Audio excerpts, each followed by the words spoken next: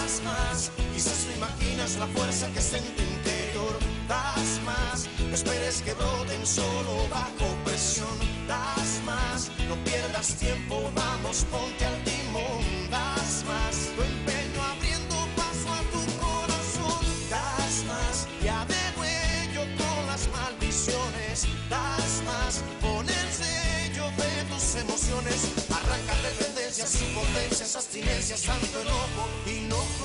enojo, hinojos, das más, hinojos, das más, das más. Hola, qué bueno que no faltaste a la cita. Como cada tarde de miércoles estamos por acá esperándote para juntos conocer historias de jóvenes cubanos que inspiran e invitan a dar más. Para nuestro programa es esencial estar bien cerca de los jóvenes, conocer sus historias, sus proyectos, sus sueños, sus modos de comunicarse. Hoy das más de visita en el Instituto Nacional de Ciencias Agrícolas, INCA, un colectivo juvenil altamente calificado, líder en las ciencias agrícolas y la formación posgraduada, con reconocimientos nacionales e internacionales. Te invito a que te quedes con nosotros. Recuerda, esto es Das Más. Hacemos y disfrutamos Cuba.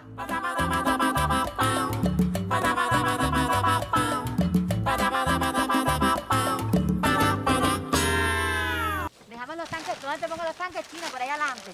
Mira, te voy a sacar esos tres, los demás los dejamos aquí ahora. Perfecto. ¿Te parece bien así? De todas maneras, ahí hay más.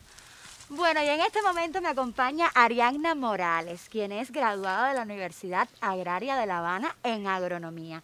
Cuéntame un poco por qué la agronomía como carrera. Bueno, agronomía porque primero que nada vengo de un municipio eminentemente agrícola. Me gusta la naturaleza. cuál es? Güines. Güines, me dijiste que era Güines. sí. Me gusta la naturaleza y sobre todo la investigación. Siempre te apasionó la investigación. ¿Y cómo llegas al centro? Bueno, en el centro eh, me incorporo a través del otorgamiento de plazas. O sea, recién graduada, Recién graduada, comienzas a trabajar acá. Comienzo a trabajar acá. Por tus promedios me dijiste, Por me imagino que hayas sido muy buena estudiante. Bueno, sí. ¿Y en qué te desarrollas ahora mismo aquí en el centro? Eh, trabajo el mejoramiento genético Ajá. al cultivo del frijol. Ya. Trabajo con el máster en cienciales Islam Piedra, que es mi asesor desde que llegué a este instituto. Y que me habías dicho también que es tu tutor Mi de tutor maestría. de maestría.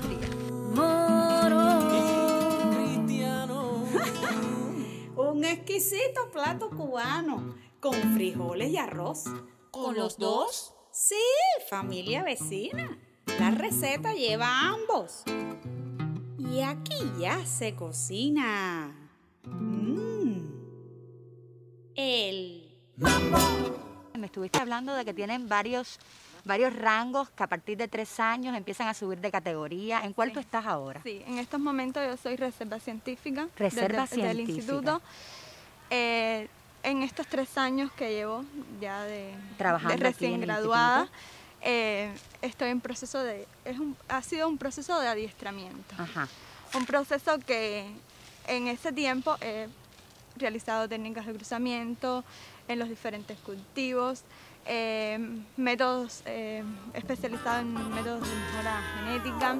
Desde la noche anterior, antes de pegar un ojo, media libra de frijol, vas a poner en remojo. Frijoles de negra raza y a gusto del cocinero,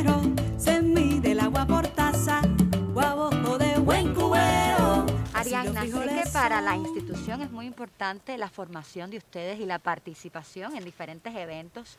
Cuéntame un poco de eso, sé que has participado en, en muchos de ellos. Así es. eh, para nosotros los jóvenes científicos que estamos en formación es de gran importancia el participar en eventos de base, de- como es el fórum, de, a nivel de departamento, a nivel de institución, como son los eventos de BTJ, de las brigadas técnicas, Claro.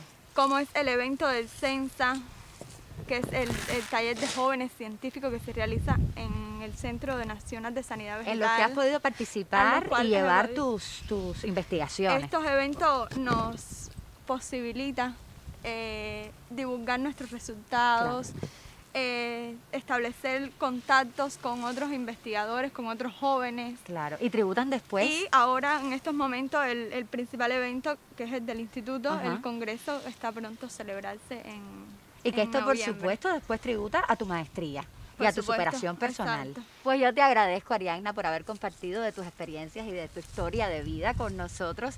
Y ahora paso a Miguel, que seguro nos trae otras historias que siempre serán del agrado y seguro de tu interés.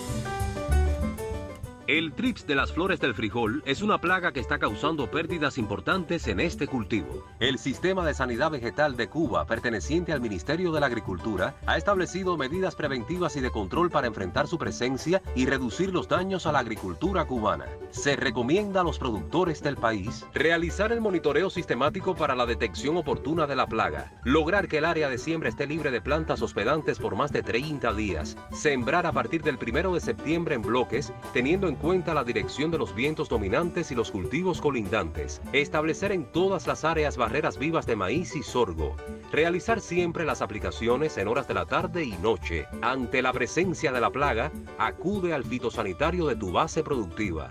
Al TRIPS, dale duro. Si te estás preguntando a qué se dedican los jóvenes cubanos, cuáles son sus motivaciones y proyectos fundamentales, entonces te invitamos a que veas Das Más. Aquí encontrarás historias contadas por sus legítimos protagonistas. Te esperamos todos los miércoles a las 6 de la tarde por la señal del canal educativo. Recuerda que siempre das más. Y aquí pudieras encontrar tu historia. Hola, soy Miguel Moret, periodista de Culturales, y estoy muy contento de esta invitación para conocer historias sobre jóvenes, sus vivencias. Ahora, yo los invito a que me acompañen en esta, mi primera historia en Das Más. Aquí traigo los refrescos. y lo ponemos aquí en el medio. Entonces, en lo que organizamos esto, coméntenme un poquitico cómo llegaron ustedes acá en la condición de aspirantes investigadoras y cómo, y cómo fusionan todo esto con el trabajo diario que realizan acá. Eh, bueno, luego de que nos graduamos en la universidad, eh, entramos aquí al instituto como reserva científica. Eh, luego de tres años hacemos el cambio de categoría que lleva una serie de requisitos y logramos obtener la categoría de aspirante investigador. Sé que esa categoría ustedes tienen que renovarla cada tres años. ¿Cómo, cómo funciona esa preparación para, para seguir las investigaciones, eh, los trabajos que van eh, publicando en revistas? ¿Cómo funciona esto? Bueno, al obtener la categoría de aspirante investigador para cambiar a la categoría de investigador agregado, que es la que continúa, tenemos que cumplir una serie de requisitos. Una, eh, dentro, dentro de estos requisitos está que tenemos que tener tres evaluaciones satisfactorias, es decir, todos los años evaluar nuestro trabajo y esa evaluación tiene que ser satisfactoria. Otro de los requisitos es em, vencer un grupo de conocimientos que, está, que em, lo adquirimos a través de cursos eh, de superación que eh, nos pueden ofertar la misma institución o cursos que podemos eh, tomar en otra institución o en el extranjero también. El- lo otro es eh, tener publicaciones, es decir, divulgar nuestro trabajo. ¿Cuántas categorías en total ustedes eh, pueden aspirar y van a ir subiendo? ¿Y cuál es la última categoría de estas? Bueno, ya nosotros logramos, como le habíamos comentado, la de aspirante investigador. Luego, ahora vamos a, a- a proceder a investigador agregado, después investigador auxiliar y la última es investigador titular, que ya esa es la máxima categoría que puede tener un, un investigador. Que machaque el escarabajo, diente de ajo, que cortar el pez espada, cebolla morada, y que puso el colibrí, un poco de ají. Tienen aquí un colectivo con el que me he dado cuenta que se, se com- se comunican muy bien, se ayudan, están muy compenetrados. Coménteme Sí. cómo funciona el tema de las generaciones. Sí, no, aquí en el instituto, eh, si- como te pudiste dar cuenta, eh, se vive una armonía muy... Es todo muy familiar, eh, las personas de ya de, de más edad y que tienen más categoría, los doctores en ciencia y demás, eh, ayudan mucho a nosotros los jóvenes, nos ayudan mucho. Nos ayudan mucho y nos comentan sobre su trabajo, nos incitan a, a superarnos cada día y, y- y aquí uno se siente bien, se siente bien y nos ayudan a superarnos, como le dije, cada día cada día y cada uno de nosotros le tiene mucho amor, como ella estaba diciendo, al, al trabajo que realizamos. ¿Qué especia trajo el corcel? Orégano y laurel. Que va a echar el pavo real, azúcar y sal. Y que añadir el jilguero aceite, vinagre, vino cocinero.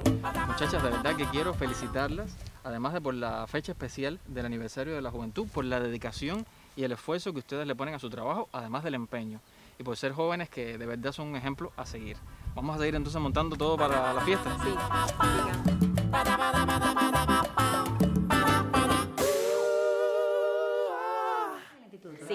Sí, Pentimor. Y este es Kitomac, uno de los, o otro de los bioestimulantes que se desarrollan en el instituto, que es de em, principio activo, es de caparazón de langosta. Y realizado aquí mismo también en el Sí, centro. por jóvenes. Qué bien. Ay, muchas gracias, muchas gracias.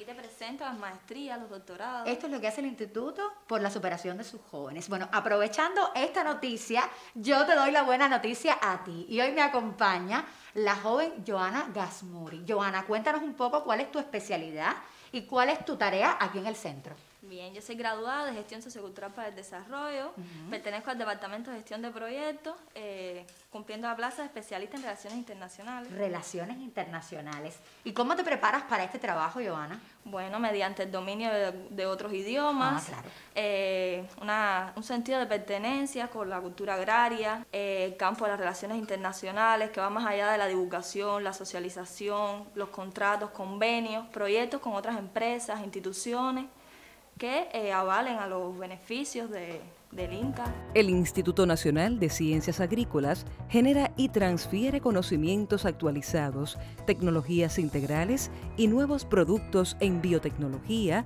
ciencia vegetal y sistemas sostenibles. ¿Cuáles son las oportunidades de trabajo, especialidades que ofrece el centro?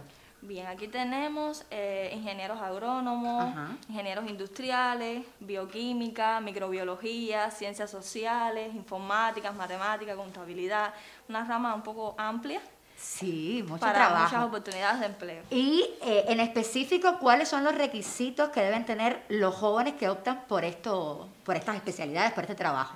Una cultura agraria Claro. que los identifique.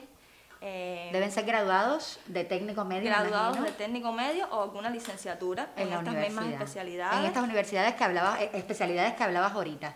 ¿Alguna evaluación en específica que deben un tener? promedio de cuatro puntos en su índice académico. Ya. ¿Cómo contribuye el centro a la formación y a la superación de los jóvenes que trabajan aquí? Bueno, aquí te traía, eh, tenemos maestrías, doctorados, tenemos dos programas de maestría en nutrición de las plantas y biofertilizantes, mejoramiento genético de las plantas y un programa de doctorado en producción agrícola sostenible, Qué bien. qué que bien. ayuda a la preparación de los jóvenes en el campo, en la ciencia. Además de posgrado, me imagino que también el intercambio constante de especialistas aquí del centro que ya tienen más experiencia en, en las ramas, ¿no? Los productos líderes del INCA son Asofert, biofertilizante fijador de nitrógeno, Pectimorph, bioestimulante promotor de enraizamiento, Ecomic, biofertilizante que produce mayor absorción de nutrientes, Quitomax, bioestimulante activador del rendimiento. El INCA convoca a su Congreso Internacional bianual, en el cual los jóvenes pueden participar, presentar sus trabajos, tenemos la presentación de convenios, Y los jóvenes activos en esas tareas. Qué bien. Y un poco para informar a los jóvenes que nos están viendo cuáles son las vías para acceder a este centro. Digo, correo electrónico, algún teléfono. Correo del instituto es dirección arroba nuestra página web www.inca.edu.cu. Muy bien, de todas maneras toda esta información la estaremos transmitiendo en pantalla para que los jóvenes puedan acceder con más facilidad. Te doy las gracias, Joana, a ustedes también, muchachas, por brindarnos el espacio. Y tú sigue con nosotros, que esto es Das Más. Y aquí, Joana, también pudieras encontrar tu historia. Ya saben, si es con frijoles negros, se llama moros y cristianos. Y si es con frijoles colorados, se llama con gris. ¡A cocinar! Yo soy Susi Saimara Pereira García, soy graduada en microbiología de la Facultad de Biología de la Universidad de La Habana. Hace poco defendí la maestría correspondiente a, la mención Ecología Microbiana de la misma carrera de microbiología. Yo soy Marta de la Caridad Rocha Rodríguez, soy graduada como bióloga de la Facultad de Biología. También recientemente estuve en la maestría de Ecología Microbiana y trabajo fundamentalmente con, eh, con los fungicidas y con los hongos micorrizógenos arbusculares para ver la compatibilidad en que se establece entre determinados fungicidas con estos hongos, debido a que son ampliamente utilizados en la agricultura, producto de sus múltiples beneficios como la absorción del agua, entre otros. La mayoría de las plantas presentan una asociación simbiótica, o sea, una relación beneficiosa entre el hongo y las plantas. Y por tanto, estos hongos se utilizan como biofertilizantes porque aportan numerosos beneficios a las plantas. Estoy muy feliz de poder estar eh, trabajando en este tema que es de gran interés para el país debido al poco conocimiento que se ha registrado en la literatura referente al mismo. Das más desde el Instituto Nacional de Ciencias Agrícolas, INCA. Aquí se generan y transfieren tecnologías y nuevos productos en biotecnología, ciencia vegetal y sistemas sostenibles para elevar la producción agroalimentaria. Esta organización es líder en las ciencias agrícolas y en la formación posgraduada, con importante reconocimiento nacional e internacional, satisfaciendo las demandas de los clientes y brindando productos y servicios de calidad, con un potencial humano altamente calificado, comprometido con el desarrollo científico y agrario del país.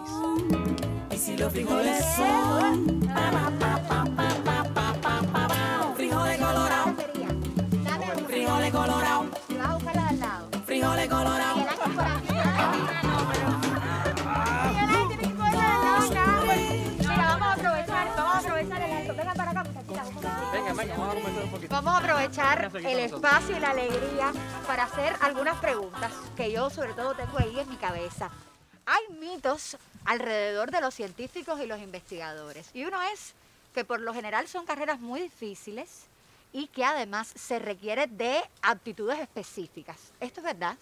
Bueno, a ver, sí, sí es difícil, la, ser un investigador es difícil, pero no, no requiere de cualidades así tan específicas como, como tú decías, simplemente es ponerle el empeño, la dedicación, el amor por lo que hace nosotros, el amor por las ciencias naturales, por la biología de las plantas, solo eso. Claro que sí. Todo es el amor y el empeño. Sí, apoyo lo que planteaba Lili. Es cierto que es difícil el tiempo de carrera que estuvimos. Demanda de mucho tiempo, de, trabajo, sí, sobre todo ese tiempo y mucho esfuerzo. Pero sobre todo eso, poniendo el empeño y, ganas ¿no? De, realizar lo que uno soñó. Así se logran las cosas. Claro que sí, se puede ser un científico y un buen investigador, claro que sí. Por lo que yo he visto en el trabajo que ustedes desarrollan, tanto en el laboratorio como en el campo, no pueden estar ni distraídas, ni tienen que tener la atención al 100%. ¿Eso funciona así de verdad todo el tiempo? ¿Ustedes son distraídas? No, no, no. para nada, para nada. No, pero, Eso... Eh, realmente eh, lleva, hay momentos de concentración, que es cuando hacemos los experimentos, cuando los procesamos, debido a que estamos tratando con, tenemos que tratar con la mayor seriedad posible, porque además eso tributa a un resultado importante. Pero sí tenemos otros momentos en que se necesita distracción, eh, momentos en que se necesita para relajarnos, para después poder incorporarnos al trabajo, de oír música, de quizás bailar, intercambiar cualquier tema. Y un poco también salir, salir de, la tensión del trabajo, ¿no? De la concentración de la atención, que es algo importante. Y sí podemos ser despistados y coger boniatos incluso de vez en cuando. Ah, pero a todas nos gusta el baile. Claro que Y la fiesta y reunirnos con amigos. ¿Y, ¿Y qué me dicen? Aprovechando y viendo que ustedes ahora, nuestras invitadas son mujeres todas, ¿Qué creen del mito que dicen que las mujeres o que no es una carrera la, la ciencia agraria para las mujeres? ¿Qué creen del papel de la mujer? Yo creo que la mujer tiene un papel bien importante en esta área porque también somos inteligentes, capaces, logramos eh, proyectarnos también en alguna actividad, ya sea que montemos experimentos, que hagamos cosas que aparentemente para los hombres son imposibles, pero nosotras somos totalmente capaces de lograr grandes resultados. Claro que sí, es que la mujer tiene un sentido extra ahí que le ponemos a todo. Históricamente siempre, siempre hemos sido mejores que los hombres. yo estoy de acuerdo, con, no sé si Miguel está de acuerdo contigo, pero yo, La mujer siempre le pone su, su delicadeza y su, y su chispa al trabajo, exacto. Yo pensaba encontrar más hombres acá, pero ya veo que ustedes son las que reinan y dirigen estos lugares. las mujeres en el poder. Incluso en los eventos de, que se realizan entre los jóvenes, la mayoría son mujeres. Son mujeres. Mujeres empoderadas que hay en este instituto. Sí, pero luchamos por la igualdad de género. no, está bien, está bien. Y, y, creen, ahora ya hablando más generalmente, ¿qué aptitudes debe tener un joven o una persona que se dedica a estas carreras que ustedes, en las que ustedes se manifiestan? Eh, debe ser perseverante. Hablábamos de la perseverancia ahorita, sí. Creo que grandes resultados requieren de grandes sacrificios también. Claro y sobre sí. todo saber de que al final, si te empeñas, si le tomas dedicación, vas a tener grandes resultados. De esas actitudes que ustedes desarrollan dentro del trabajo de investigación, eh, ¿cuáles les sirven para la vida cotidiana, para la vida diaria de ustedes? ¿Qué llevan a la casa? ¿Qué llevan a la vida? ¿Qué hayan aprendido? Ajá. Lo- la planificación, los objetivos de vida, los proyectos, a la hora de elaborar, de preparar un plan, una salida cotidiana, la organización, todo. Son metódicos, o sea, llevan a la vida, a la vida personal el metodismo, ¿no? El análisis, la capacidad de análisis. Eso, eso. Hablábamos de que ustedes son muy observadoras para casi todas las labores que tienen que hacer. ¿Eso también lo llevan para la casa con, con los esposos, los novios? Sí, la observadora, la organización, sobre todo. Creo que no es tanto como llevarlo, sino que se muestra de manera natural. Es algo que, que ya nos, nos sale de manera natural, el observar, analizar cada situación, no solo del trabajo, sino también en el ámbito eh, personal. Claro que sí. Y bueno, vamos a quitarle seriedad a esto Ya, y ya. seguimos, seguimos en lo que estábamos. Disculpe que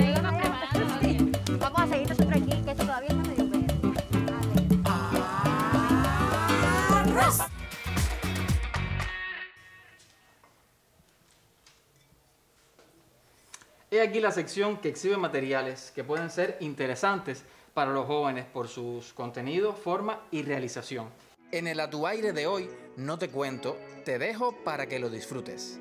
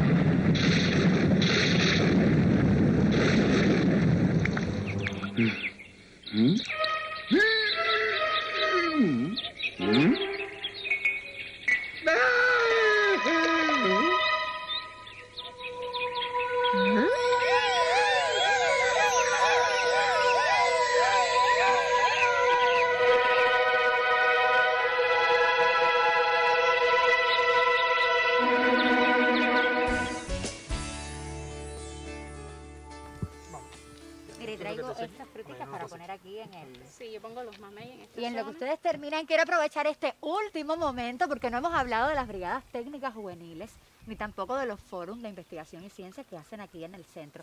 Cuéntame un poco cómo funcionan, qué papel tienen los jóvenes. Bueno, todos los años se realizan en el centro los foros de ciencia y técnica, que se hacen a nivel de institución, donde los jóvenes tienen la, la, la oportunidad ¿no? de presentar sus trabajos y de lo que hacen a diario. Claro. Y es una oportunidad más para dar a conocer ¿no? sus líneas de investigación. Claro y de igual sí. manera, las brigadas técnicas juveniles se realizan un evento que tienen que ver con esto, donde los jóvenes son los principales protagonistas en estos eventos. Como debe ser. ¿Y qué retos y oportunidades creen que tienen los jóvenes en esta empresa?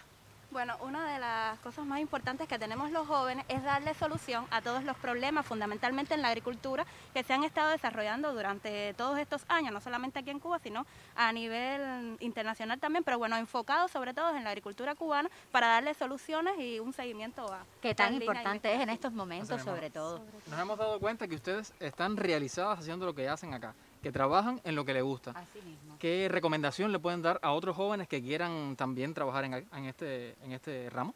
Bueno, a aquellos jóvenes que les guste la ciencia, sobre todo darles mucho ánimo. Es cierto que es un camino difícil, pero no imposible. Claro que Así no. que si le ponen empeño, ánimo y mucha constancia, pueden lograr lo, que- lo que ellos quieren, el sueño que, que tienen en, en su vida. Y que de seguro trae muchas satisfacciones. Sobre todo eso. Claro que sí. Bueno, y con esta felicidad, muchachas, vengan para acá, vengan para acá. Vamos a terminar, porque nuestro programa siempre está de fiesta. Pero hoy tenemos una festividad especial y Muy eso especial. el aniversario de la UJC. Y aquí todos somos jóvenes, así Sí, que así mismo. el brindis va por todos hoy. Arriba. Vamos, cojan su vasito. ¿Y por qué brindamos, muchachos? Por la vida. Por la vida, Por los jóvenes. por los jóvenes sobre todo. Por ¿Por las oportunidades, por la investigación, los jóvenes científicos. Así Porque podamos continuar nuestros sueños también. Claro Por sí. desarrollarse en lo que a ustedes les gusta, ¿verdad? Y por el trabajo en equipo, que ustedes lo hacen y muy bien. Gracias. Gracias. Esta es una canción que quiere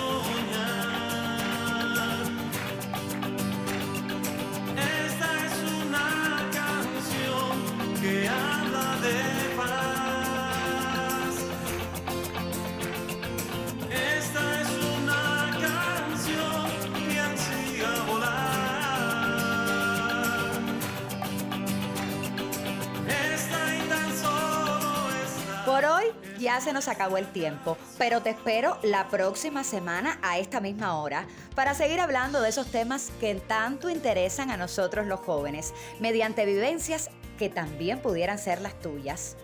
Recuerda, si tienes alguna historia de vida interesante que quieras compartir con nosotros, muy sencillo, escríbenos a nuestra dirección de correo electrónico que aparece en pantalla o a nuestra página oficial en Facebook. Nosotros como siempre esperamos respuestas de todos los rincones del país. Recuerda, esto es Das Más. Y aquí también pudieras encontrar tu historia. Te espero, no me falles, ¿eh? Chao